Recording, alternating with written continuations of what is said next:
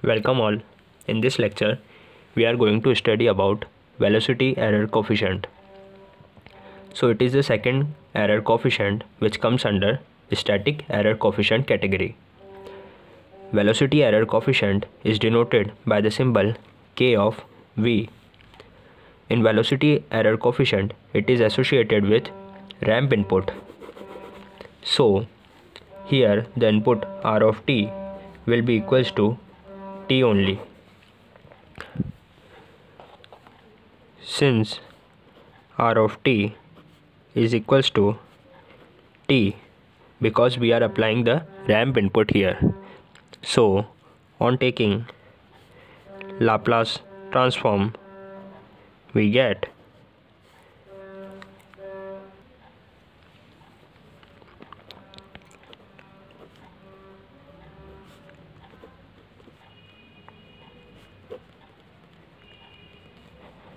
this r of t will become r of s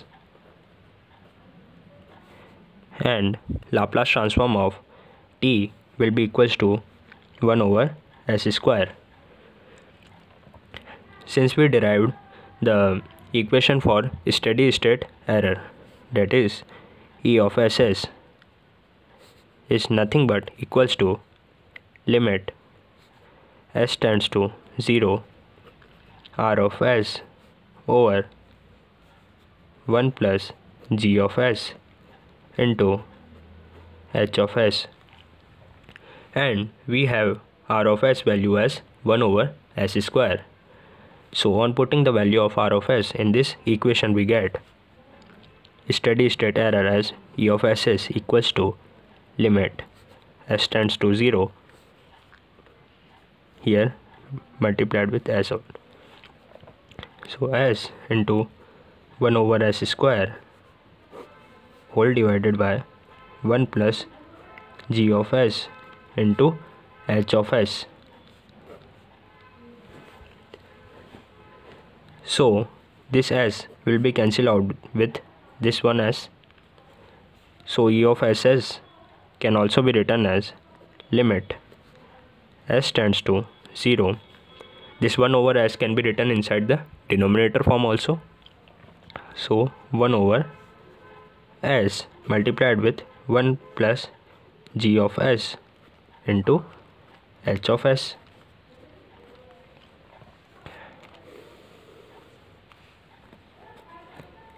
So e of ss will be equals to limit s tends to 0 1 by multiplying this s in the inside bracket we get s plus s into g of s into h of s. After this on putting s equals to 0 we get e of ss is equals to 1 here s tends to 0 that's why this term will become 0 only. Plus limit s tends to 0 s into g of s into h of s. So final expression for steady state error will be 1 over limit s tends to 0 s into g of s into h of s and this limit s tends to 0 s into g of s into h of s is nothing but velocity error coefficient.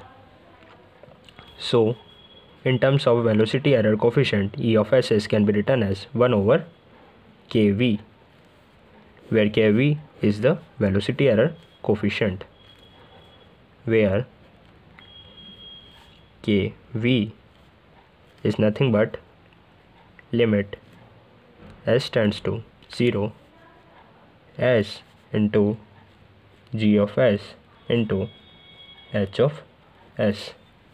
This is the final expression of velocity error coefficient. Thank you